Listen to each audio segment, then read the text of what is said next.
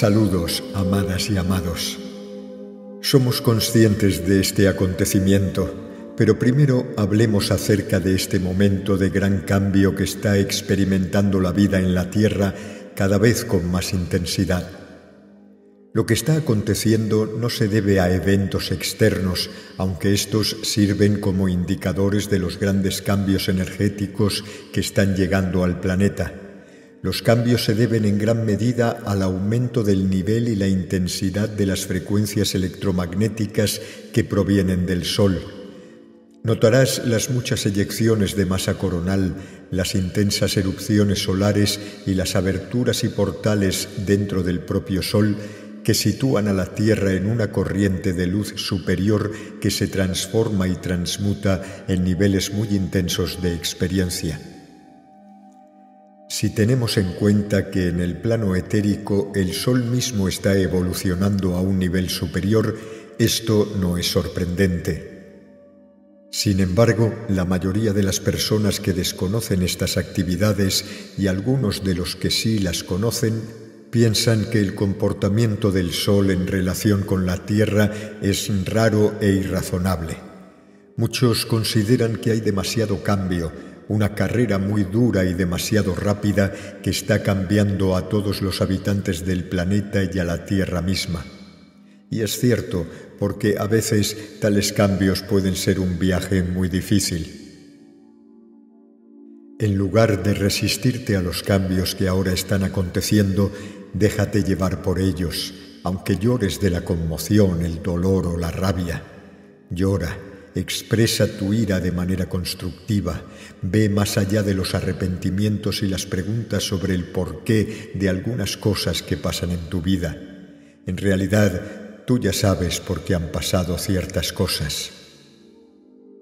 Tú estás aquí y ahora para liberar el viejo dolor, la conmoción, la pena y la ira que se han acumulado y te han seguido de una vida terrenal a otra que han permanecido atrapados en tus energías etéricas como huellas del alma y que afloran en cada vida cuando algo trae a colación las viejas reacciones o mete el dedo en la vieja llaga. Y te sorprende que algo tan terrible pueda suceder, aunque haya sido tú mismo quien ha ido registrando esos eventos en tu propia línea de tiempo. Pues bien, así sucede en la vida en la tierra y en el camino de la humanidad hacia la ascensión, e igual sucede en cada uno de vosotros como individuos.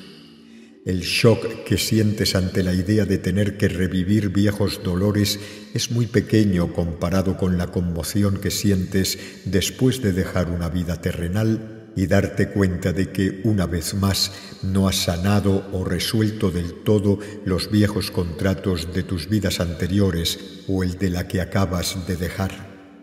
Y así ha continuado el ciclo de vidas de la Tierra en tercera dimensión, hasta ahora. Actualmente aquellos de vosotros que deseáis ascender más allá de la tercera dimensión habéis decidido individual y colectivamente que ya es hora de resolver y liberar por completo los viejos traumas, agravios y cismas terrenales que han plagado vuestro planeta y vuestras experiencias personales. Ahora, con respecto al reciente final del reinado de esta monarca conocida por todos, diremos que se trata de otra pieza de la construcción anterior. Los que habéis elegido vivir en una luz superior, habéis sabido en un nivel superior que la antigua forma de vivir en la tierra ya ha terminado, y aunque ninguna persona consciente desearía el fin de otra persona en lo físico o de esa tecnología que transmite su aparente presencia, cada uno de vosotros, animados por la ola de luz que fluye a través del universo, habéis determinado que los actores que durante tanto tiempo han desempeñado el papel de oligarcas, controladores, usurpadores y aquellos que han estado conectados con ellos abandonen este escenario. Eso es lo que gran parte de la realeza terrenal ha representado y reivindicado, y su tiempo ha terminado ya, amados. Lo elegisteis vosotros, y nosotros os acompañamos en el proceso de ascensión terrenal y en vuestros caminos de ascensión individual y grupal. Honramos y observamos vuestra experiencia en la tierra, enviándoos energías alentadoras, e intervenimos solo en la medida que la ley universal lo permite y conforme a vuestro propio progreso y solicitudes de asistencia. Por otra parte, comprendemos muy bien el dolor de aquellos que se identifican con el imperio que esa mujer representó y por supuesto honramos y respetamos esa experiencia de dolor respetuoso. Sin embargo, ya sabéis que la humanidad no puede pasar al siguiente nivel sin que partes del antiguo sistema sean retiradas gradualmente del escenario, y eso es lo que estáis viendo que sucede ahora.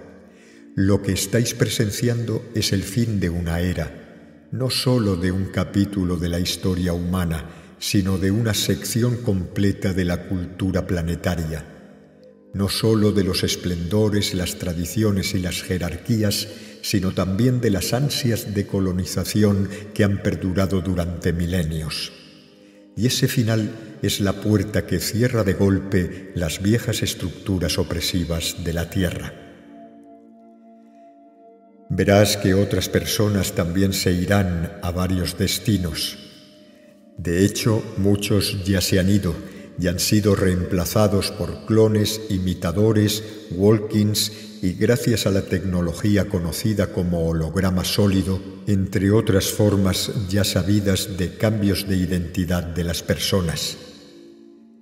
En la Tierra también hay formas que pretenden pasar por un ser humano cuando de hecho no lo son Ocupan muchos puestos de alto nivel en los gobiernos, la banca, la medicina, la industria y los medios de comunicación de todo el mundo, no solo en ciertos países. Y esto también está llegando a su fin. Una vez más, date cuenta de que esto no es algo que le suceda a la tierra y a la vida humana porque sí, como tampoco te sucedió a ti porque sí en tus vidas, sin que hubieras planificado los eventos incluidos aquellos que más odiabas. De hecho, vemos mucho dolor en varios lugares alrededor del mundo debido a la pérdida de la presencia de esta mujer, y diríamos que la asociación con comportamientos e intenciones honorables, incluido el deseo de servir a una nación, debería respetarse. No es tanto la asociación con la noción de que su líder o modelo a seguir sea una persona honorable lo que trae ese principio a la vida de una persona. La persona que admira a un monarca que ella cree que está sirviendo positivamente lo mejor que sabe y puede a la nación, tendría que ser respetada y apoyada en el dolor que le produce la pérdida de ese líder admirado. Y sin embargo, la fórmula de este principio está cambiando. A medida que la humanidad invierta más y más en su propio honor y en su propio coraje en su camino ascensional, la antigua forma de vida jerárquica y la preferencia por ella se desvanecerán hasta el punto en que será algo que apenas será recordado. Ahora los líderes sois vosotros, y no porque alguno de los que estaban sentados en un trono abandonen la tierra. Vosotros sois los verdaderos líderes de esta generación y de las siguientes porque habéis elegido traspasar esas supuestas limitaciones que os impusieron al deciros que erais un mero mortal, un plebeyo, un trabajador y demás sustantivos limitantes, aunque esos también sean roles que desempeñasteis voluntariamente durante algún tiempo. Pero bueno, ahora llamaos los unos a los otros por vuestros nombres reales. Veos a vosotros mismos como los verdaderos monarcas, los auténticos dioses y diosas de la creación que realmente sois, porque a pesar de los trastornos del renacimiento, estáis recuperando a cada instante vuestra fuerza divina y entrando en vuestro verdadero ser. Namaste, amados nuestros. Buscadnos, estamos en vuestros cielos y siempre muy próximos a vosotros. Muy amorosamente, el colectivo.